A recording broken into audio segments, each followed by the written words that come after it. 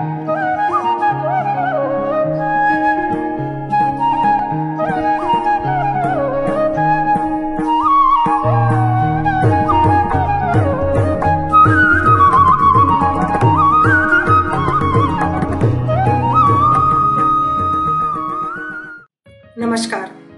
ये एन का एक अगला कदम है, जिसमें हम इंटरनेट के माध्यम से खुशी, जीवन में संतुष्टि, मानसिक स्वास्थ्य और जीवन के सकारात्मक पहलुओं पर और अधिक प्रकाश डालना चाहते हैं। एनपीपी यानी कि नेशनल पॉजिटिव साइकोलॉजी एसोसिएशन एक सकारात्मक मनोविज्ञान का संगठन है, जिसमें हम, हमारे व्यवहार के सकारात्मक पहलुओं की चर्चा करते हैं। हम व्यवहारिक मनोवैज्ञानिक, उन टेक्निक्स या लाइफ स्किल्स या जीवन जीने की कला की भी चर्चा करते हैं, जो हमारे नकारात्मक व्यवहार को घटाए और सकारात्मक व्यवहार को बढ़ाए।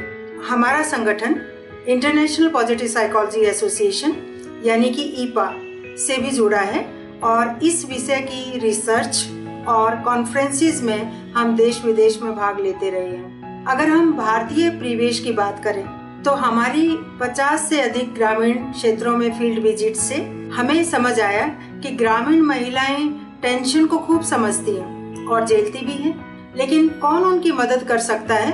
ना ही तो वो डॉक्टर उनके पास मौजूद हैं। और ना ही उनके बारे में उन्हें पता है।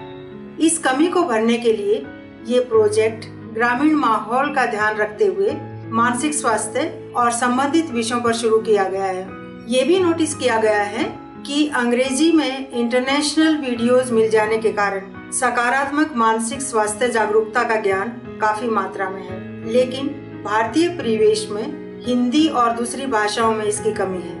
हिंदी भारत में सबसे ज़्यादा बोली जाती है इसलिए हम शुरुआत हिंदी से करना चाहते हैं और फिर बाद में दूसरी लोकल भाषाओं में और दूसरी बोलियों में भी इस विषय को ले जाना चाहेंगे। इस चैनल पर रोज़मर्रा के जीवन में हम कैसे चिंता, मानसिक तनाव, थकान, मानसिक परेशानी आदि से निपटे, कैसे अपना जीवन और ज़्यादा खुशहाल और संतुष्ट बनाएँ तथा विभिन्न सकारात्मक विषयों पर जैसे खुशी, आशावाद, सकारात्मक भावनाएँ, संतुष्टि, आत्मनिर्भरता, मानसिक स्वास्थ्य आत्म गौरव आदि पर चर्चा करेंगे। आशा है हमारी ये शुरुआत आपको मानव व्यवहार को समझने और अपने व्यवहार को और ज़्यादा सक्षम व अनुकूल बनाने में मदद करेगी। धन्यवाद।